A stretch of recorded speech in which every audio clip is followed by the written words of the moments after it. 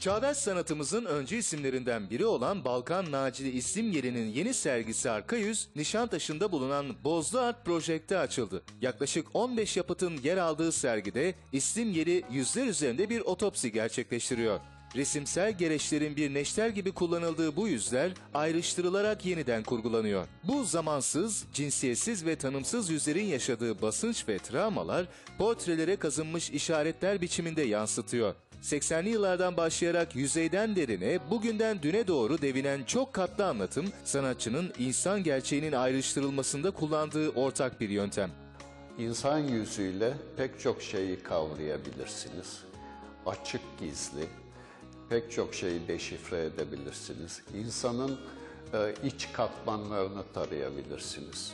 Bu nedenle insanı çözmek, yani figürü çözmek bir anlamda portreyi başarmakla mümkün. Ben bu yüzden kendimi hep bir portre ressamı gibi hissettim. Kariyerimdeki basamakların tümünü içeren bir toplamı bu sergide görebilirsiniz. Yine portreler var, yine ikonografik duruşlar var. Hatta e, bu suçlu yüzlerini katmanlar halinde üst üste getirerek klasik resim şemalarındaki masumiyetle e, Fayum portrelerindeki bugünün tutuklu portrelerini, tutuklu insan portrelerini üst üste bindirerek e, alacakaranlık yüzler elde etmeye çalıştım.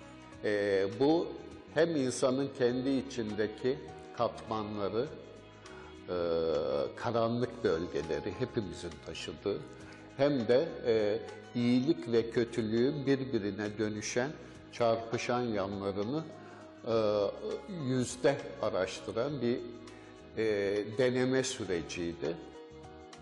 Pentimentolar, Deli Gömleği, Suret, Psikolaj ve Kara Yazı adlı geçmiş sergilerinde görüldüğü gibi sanatçı yüz üzerinden derinleşerek insanın iç ve dış basınçlarla değişen, dönüşen iç gerekliliğinin yüze vuran göstergeleriyle ilgili ürünler veriyor. Sergi 30 Mart tarihine kadar açık kalacak.